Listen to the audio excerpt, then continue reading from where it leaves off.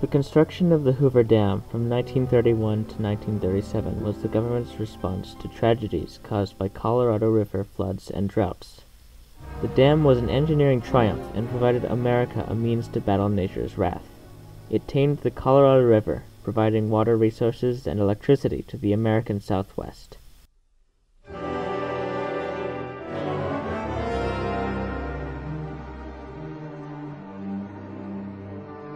Since ancient Egypt, floods have been a villain of civilization.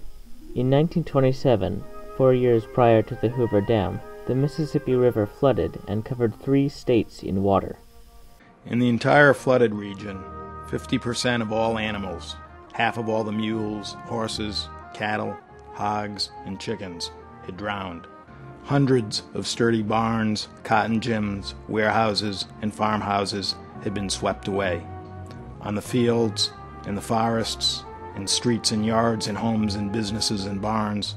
The water left a reeking muck. It filled the air with stench. Herbert Hoover's direction of rescue efforts afforded him fame and trust, but the worst of it was the Colorado Basin. Covering seven states and two nations, the Colorado River naturally experiences massive floods and droughts. The Imperial Valley, just north of the Mexican border, was hard hit by these. People in the eastern United States didn't think they wanted to be involved in building a dam here in the West.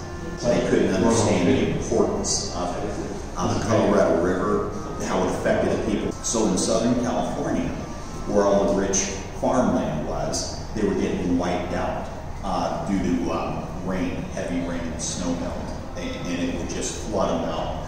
And then they would go through great periods of drought.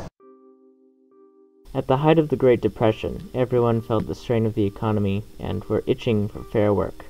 Rails had already been established out west, the war and all wars had been and gone.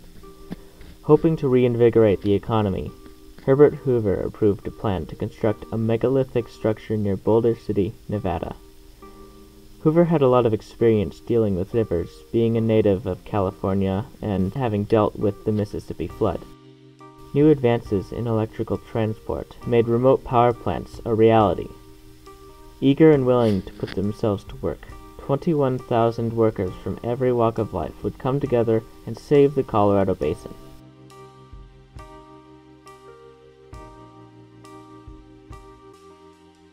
The Hoover Dam was built by multi, um, a very diverse group blacks, Hispanics, Chinese, that people from all walks of life. That's what America is. It was right in the middle of the Depression, so everyone was out of work. And in, you know, unfortunately, with uh, unemployment, it does not discriminate. Everyone was out of work. So they were able to uh, bring everyone together to accomplish this great feat with uh, a great diversity that we didn't have at the time. The, the cost associated with the Hoover Dam itself was $50 million. And that was the largest single contract in American history to that day. That is why they put the power plant in, and that would help them pay back what they were paying. And, and that kind of overcame that. By 1981, I believe, uh, they were able to pay off the loan with interest to the U.S. government. It's one of the few government agencies or government entities that is self-sustaining, and that is the uh, the maintenance and everything associated with the dam, and uh, the tourism all, is all self-sustaining, so it doesn't cost the taxpayers anything. The money allocated for the Hoover Dam was an almost $50 million cash infusion. It's found its way into states, construction companies, and inevitably the workers. The workers were relatively well paid by the standards of the time. On average, they were paid more than doctors. This, in turn, would stimulate the economies of Nevada and Arizona by the workers' spending.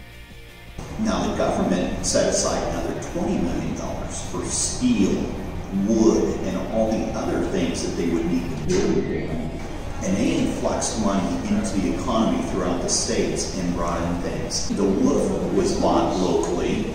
They were able to stimulate the economy by doing that. The industrial impact came into play. World War II happened. And so the power that was generated here uh, went straight to Southern California, and we were able to help produce our adversary on war type machinery. But the biggest triumph is that the wild, deadly power of the Colorado River now falls under the control of the United States.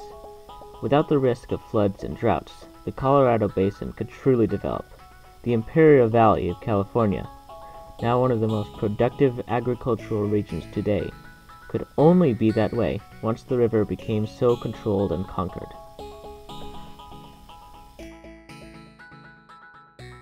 After the Hoover Dam, other dams followed shortly after in other states. According to my great-grandmother, even places like Oregon experienced periodic floods until the 1940s when various dams were constructed.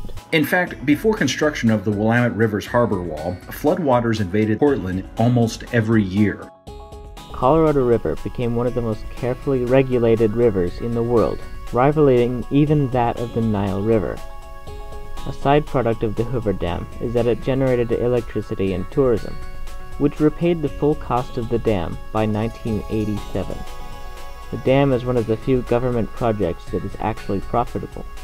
Tourists at the dam would also likely go to the Las Vegas Strip, further boosting our local economy though it is important to mention that the native ecology evolved for the harsh rise and fall of the river. There are many endangered fish species and some invasive quagga mussels which are also very damaging to the ecology. So in summary, nature tried to kill humans and we retaliated by making nature do work for us. Next time you use water, keep in mind that if America hadn't taken action, it would have wiped somebody else off the map.